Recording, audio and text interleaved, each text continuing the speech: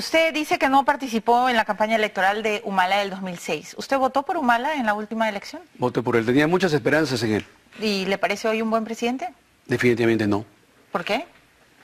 Vemos cómo vemos las cosas en el país. Mire, inseguridad ciudadana, desaceleración en la economía. ¿Va a ir mañana al Congreso? Por supuesto que voy a ir al ¿Va a Congreso. pedir sesión pública? Yo he pedido sesión pública. ¿Y si no le dan?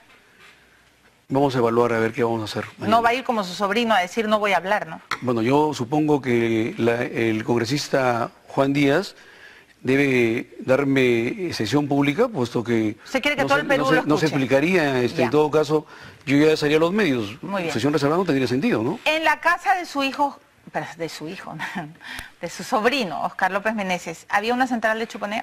Realmente es alucinante eso, lo que usted dice. ¿Por qué es alucinante?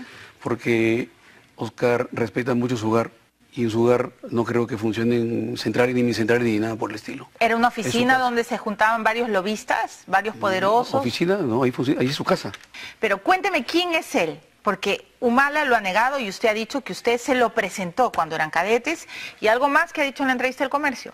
Usted ha dicho que en la campaña del 2006 usted escuchó textualmente que Ollanta le decía a Ítalo Ponce que él iba a ser el contacto, el enlace entre ambos. ¿Quién es Oscar López Meneses? Bueno, son tres preguntas, pero vamos a hacerlas, vamos a dar las respuestas en forma rápida, ¿no? Fíjese. Primero, o sea, no basta este, decir si yo lo presenté. O sea, no es solamente decir yo sí, yo lo presenté. No, sino que tiene que entenderse el contexto. ¿A qué me refiero? Fíjese, nosotros ingresamos el 20 de marzo, ingresamos a la escuela militar y tenemos por lo menos 10 domingos en que recibimos visitas.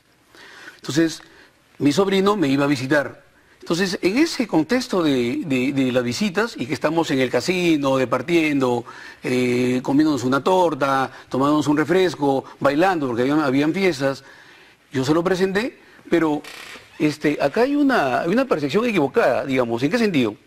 Y yo veo que ustedes al presidente Ollantumala y al señor Oscar López del 2014, ustedes lo retrotraen al 80-84.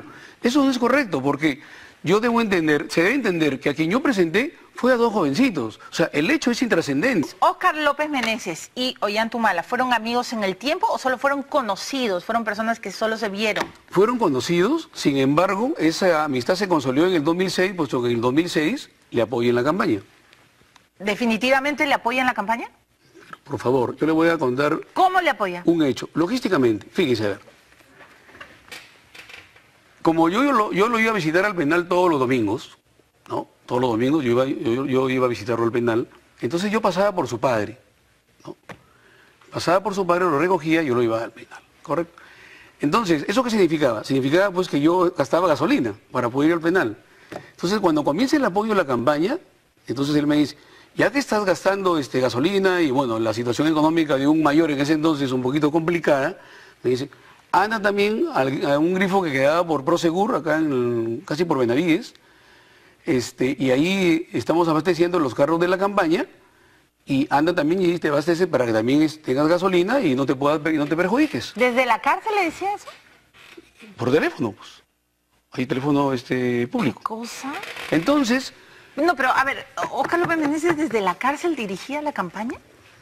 así es, desde ahí dirigía, ¿no? Entonces yo voy al grifo a echar, y re- a echar gasolina, todos los viernes era, y ahí yo pude observar, ahí estaba el señorita Loponce, estaba eh, mi coronel Adrián Villafuerte, estaba ahí, estaban echando gasolina a los carros, e inclusive recuerdo que estaba su vehículo del, del coronel Villafuerte, que era un Toyota Tercel verde, abasteciendo. Y él me, me encargaba, oye, agradecele a Osquita, aparte que él tenían un teléfono para hablar ellos, pero aparte agradecele, yo le decía, pero ¿por qué yo tengo que agradecerle? Agradezcale a usted.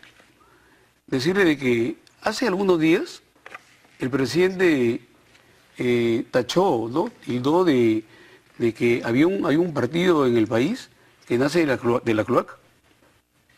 Sin embargo, yo quiero decirle que él convivió con la cloaca, porque le hago recordar que él cuando fue comandante de unidad del grupo de artillería, él fue designado en cumplimiento a un plan, un plan de reelección, donde los comandantes de unidad para, tenían, una, la, tenían la finalidad de reclutar 80 mil personeros a nivel nacional en la tercera región militar que el comandante general le diera la promoción de, de Montesinos, había un plan ahí que ejecutar. Entonces, él va de comandante de unidad ahí. que Ollantumala perteneció al programa de reelección de Alberto Pero por supuesto, no solamente él, fueron, eh, todos los comandantes de unidad fueron seleccionados debidamente. Nadie fue de casualidad ahí.